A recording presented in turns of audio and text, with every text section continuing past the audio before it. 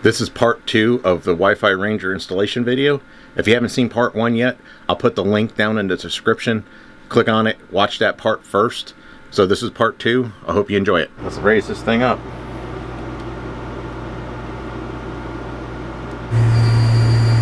Oh, I can hear it.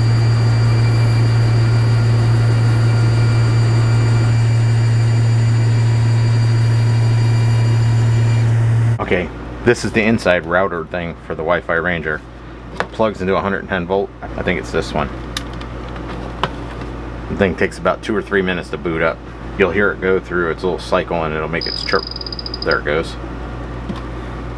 Okay, so it's red on number five, which is the going up to the outside antenna. I don't think it turns green. I'll have to look at the manual. But it does have a Wi-Fi signal. And we can also see the lights. So it's actually got a signal. It's receiving. So let's get a tablet and see what it does. All right, it's up and connected. Can you guess which ones are Wi-Fi at the house? Dogs. Wonder why. So it's uh, connected to dogs. It's online, so it's got the internet. All right, so we got about 17 and a half, a little bit more download and a little over 11 up. Now let me go ahead and connect our home network directly with the tablet and then do the same speed test to see what the numbers are differently going directly to our router versus going through the Wi-Fi Ranger. Now I'm connected to dogs instead of to the Wi-Fi Ranger go-to.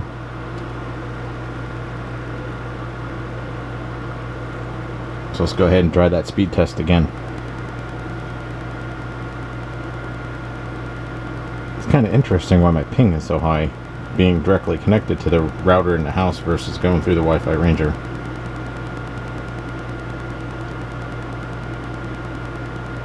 So we got a 40 down. Before we were at 17 and a half, a little bit more. And we were at, what, 11 coming up. So looks like the up is going to be really close to the same. And the, the download speed is uh, about half of what it is directly connecting.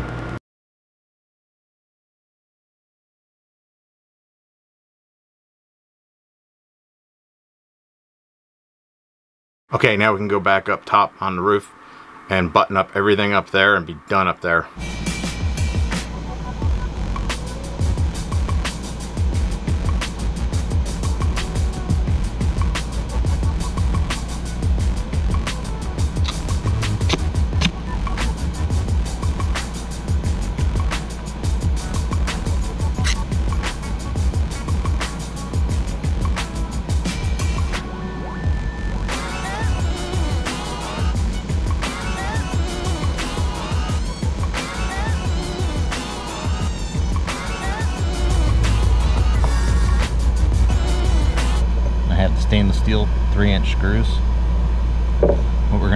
Stick a little bit of the same roof coating stuff down in the holes, just so if any water gets past the, whatever we seal this with, doesn't get down and into the back of the fridge.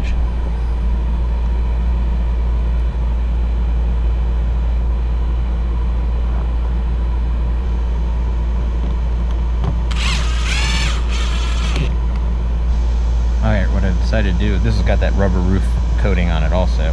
So what I'm going to do is put a bead around the outside of it put my tin tape over top of it.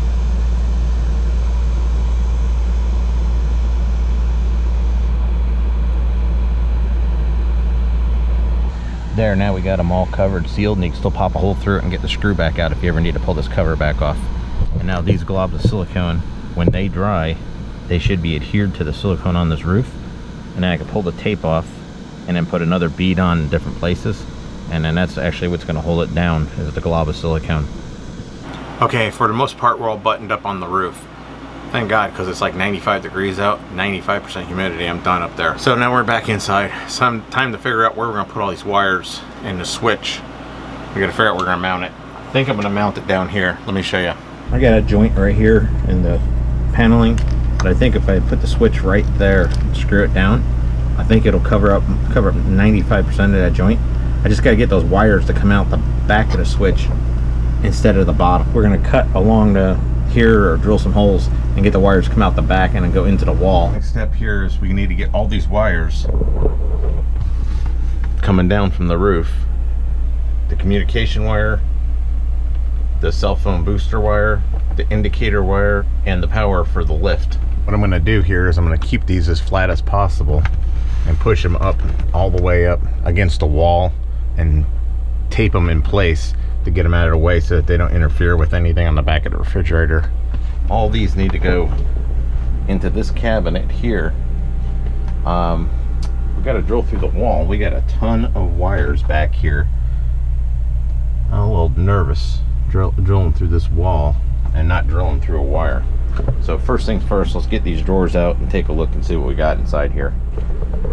All right, now I got the drawers out. And man, there's just a lot of stuff back there.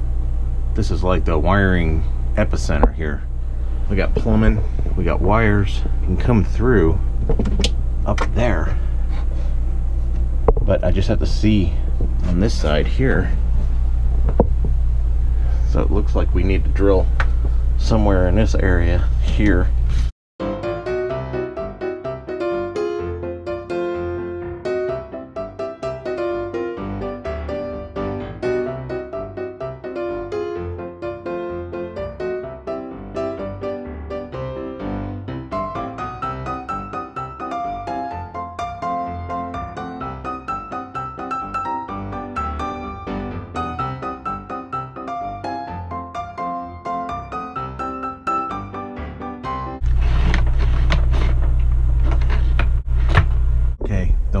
We got left to do is to mount this Wi-Fi Ranger inboard or inside router mounted in here somewhere. I'm thinking about mounting it right right over here on the wall.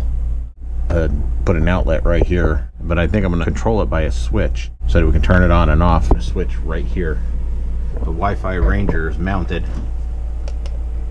So what I have here is this is the wire that's going up to the motor on the lift. And what I need to do is I need to see how many amps it's drawn so I can know what size fuse to put in. We have company. okay, so what we're looking at there is the amp meter.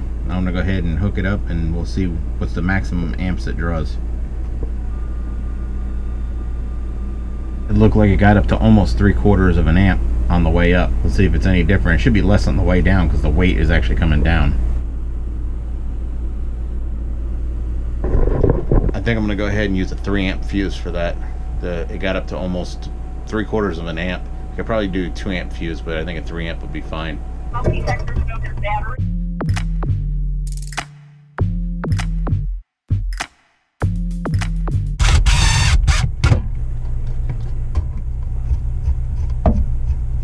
It's kind of a pain to wire this stuff up back here on this back wall. I can only use one hand. Have to go through the drawer openings.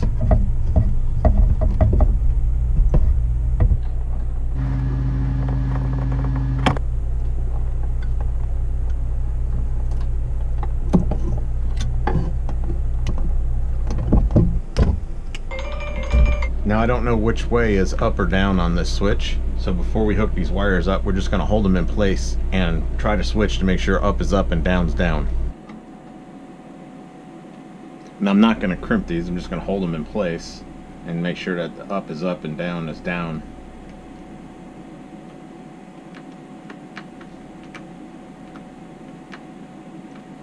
Oh, I still got to put a fuse in it.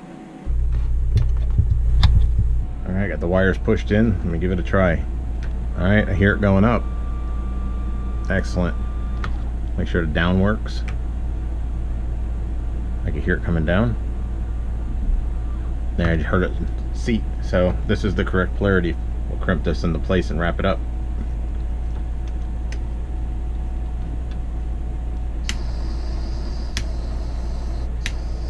It doesn't really need any heat shrink because it's inside. I like to do that because I don't like any other little wires to get down on the side of the butt connector and uh, touch the wires there. So I do this as just a safety precaution. Got everything zip tied inside. Take a look. So we got our zip ties, everything's kind of tucked away. I decided to go with a, a 2 amp fuse instead of the 3 amp. I'll tell you why I did that.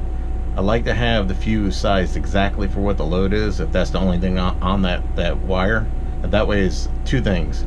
You'll know exactly if you have a problem with that one circuit because it'd be more likely to pop that fuse very easily.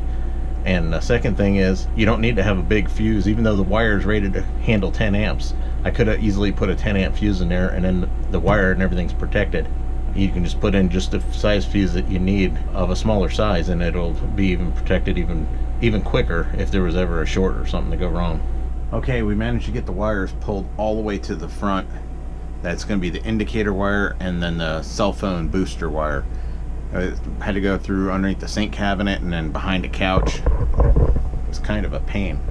What I did here is there's the fuse for the lift itself. And then right here I taped another fuse to the wall above it. All, all these fuses here are blade fuses. Um, and that's you know a glass uh, quarter inch glass tube fuse. So I don't know if I have those in my little toolkit so I just taped this spare one right to the wall if we ever need it.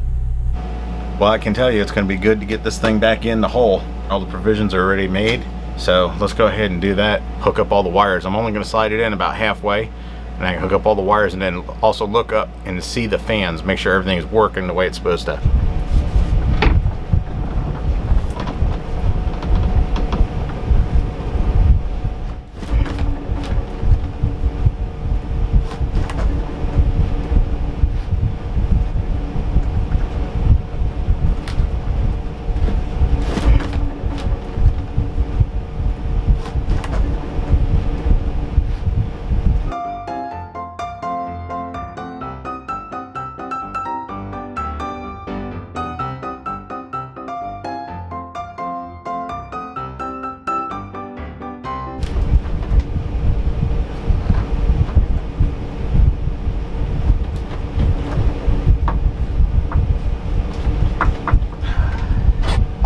go outside and see what's hung up on it.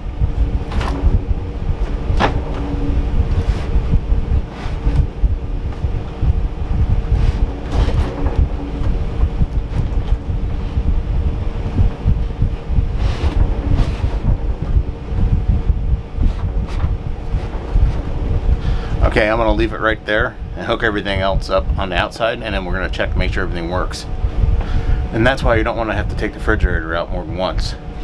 All right, let's go ahead and turn on the refrigerator. I unplugged the power cord for the refrigerator. So now when I turn it on, it's not going to sense 110 volts. So it's not going to want to automatically switch over to 110. It's going to try to open up the gas valve, which the propane's not hooked up to it, but it's irrelevant. Again, I'm watching it on the screen for the GoPro.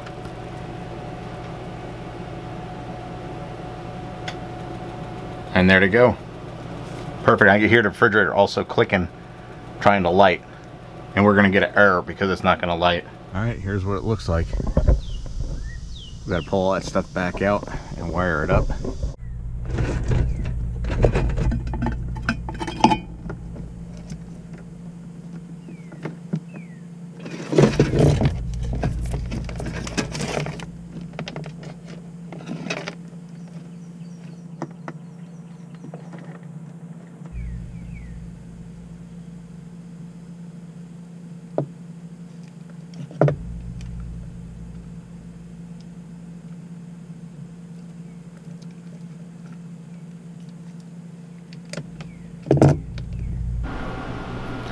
Right, we have to get this thing wrapped up. We got less than a week before we leave on our first trip for 2018. So what we need to do is I need to finish hooking up the refrigerator. It's in the hole now, so that's always good. We need to finish hooking it up. Something tells me that I don't think Lisa will be really impressed with my skills if the refrigerator's not working on our trip. The next thing that we need to do is install a switch and an outlet right here. Here's the switch that raises and lowers all in one switch. So what I've got to do to mark out where the drawer edge is going to be, and I think it'll fit, but we're going to go with one of these switches here. It's a switch outlet combo. Switch on this outlet will control another outlet up inside the cabinet that the Wi-Fi Ranger will be plugged into so we can turn it on and off from the face of the cabinet. And then the outlet on the bottom will just be an additional outlet. We'll have to plug something in on the counter, a toaster or whatnot. The first thing I'm going to do is I'm going to use some of the blue tape. We're going to tape the area where we're going to cut out and we're also going to mark where the edge of the drawer is so we're not putting the faceplate behind the drawer.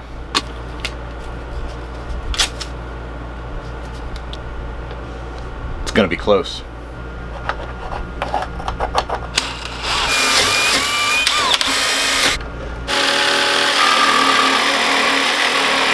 This edge here, I won't be able to fit the jigsaw in, so I'm going to use an oscillating tool.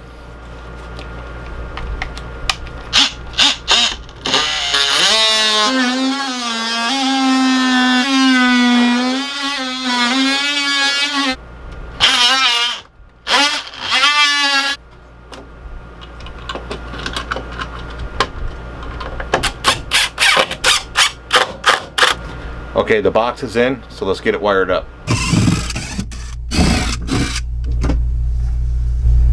So it's that GFI breaker. So we're gonna have to wire something into that.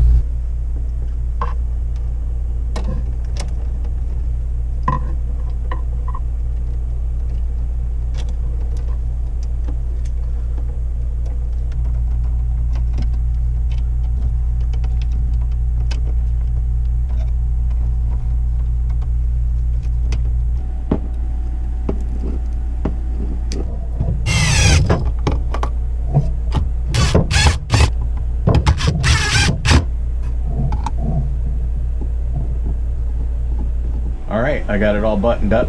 Check it out. The new outlet and switch. And then inside here, you see we got the power outlet plugged into a brand new outlet. Everything's all zip tied and nice and neat going over to the Wi-Fi Ranger. So let's go ahead and raise the Wi-Fi Ranger and give it a try. There it is. Let's turn on the switch and then that router will come to life. All right, I'll go get a tablet and we'll try it and see how it works. You can see we got our switch. If I turn the switch on, it turns the Wi-Fi Ranger on. And then the drawers are all back in. Everything's all put back together. The last thing that we have to do is we have to put the indicator light in the dashboard. Let's check out the dashboard to see where we're gonna put that indicator light. This is kind of the view while I'm driving. The steering wheel goes through and blocks the speedometer, the tachometer, water temperature, and also blocks my jacks down light. I'm thinking like right there I can put the indicator First I need to get down below and take a look to make sure there's nothing in the way, any wires, the important stuff. Look underneath the dash. What a nightmare. I can tell you right now, it's almost virtually impossible for me to even get my hand up in there. There's just no way I'm going to be able to wire. Might have to find a different location. And decided I'm going to put it right underneath the speedometer, which is that chrome looking uh, round cylinder. I decided I'm going to put it like right around in this area here. I'll be able to get my hand up there to wire it and put the nut on the back of it.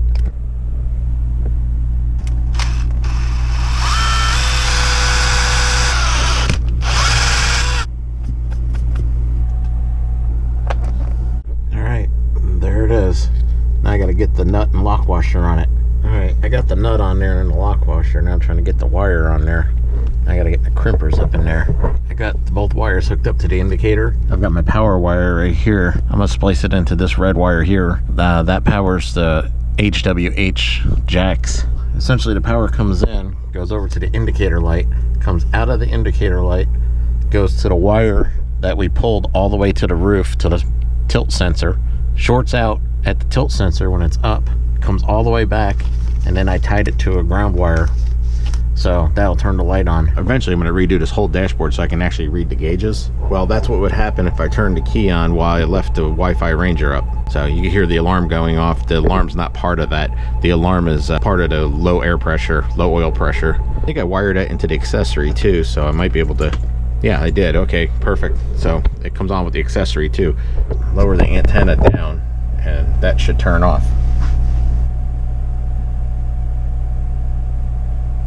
I'm worried about that flex. So we made this. It's going to sit right underneath here. And that'll keep it from bouncing around.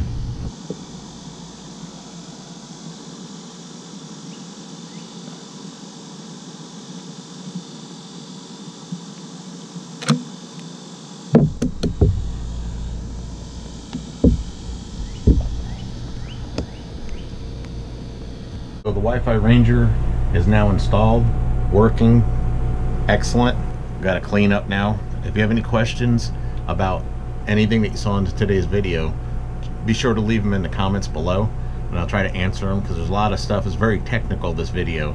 Also, I got a, another project. There's projects every day, but the next project is literally this wood cover that I uh, started. This is the front part of the couch and we need it to tilt up. The cover that's original for the couch does not tilt up. It comes off, but you have to lift the bed up or the couch halfway into a bed and then you can lift the panel out. This way here, I'm gonna put gas struts on this thing so it can lift up on its own. I've, I've changed it around a little bit so it's got hinges on it now and we'll see that in a later video. All right, first time since we installed the Wi-Fi Ranger on this RV. And I want to show you exactly what it looks like up there. You can see it up there on the pole. It's almost hitting the power lines, but we're actually, it's an optical illusion. We're actually quite a few feet from it. So this is the perfect scenario of why the Wi-Fi Ranger is a perfect complement to your RV. I'm going to show you on my tablet. That's all the networks, and not one of them is this campground. So I turn on the Wi-Fi Ranger, which we're connected to now, and then when I log into that, we'll see the signal strength. So tablet directly to the campground Wi-Fi cannot get a signal sitting here at the campsite. They have one antenna, it's all the way down at the office, and we're all the way at the other end of the campground. So if we want Wi-Fi, we have to walk in and sit over by the office. And let me tell you, it's hot. It's hot. It's July 8th. I'm not sitting outside. I'm only showing you this because I want to take this outside to give it some kind of a chance to get a signal from the campground. Here's all the networks that it found. I'm going to sh shield that there from the sun. And there's the D-Link, and you can see it has five bars full signal strength that the Wi-Fi Ranger is uh, receiving from it, where my tablet, my tablet by itself can't receive anything outside, but the Wi-Fi Ranger is getting five bars and rebroadcasting that in our RV. So this is like the perfect scenario for the Wi-Fi Ranger is you got Wi-Fi inside a campground all the way down at one end in the office and nowhere else except for around the office can you receive it. Lisa, how's the Wi-Fi? Excellent. Yeah, there you go. How's the Wi-Fi, Tara? is the Wi-Fi working good? As long as that's air conditioning, that's working really good, isn't it? Yes, it is. What do you think? Is the Wi-Fi working good? I know, but that scratching on my chin is.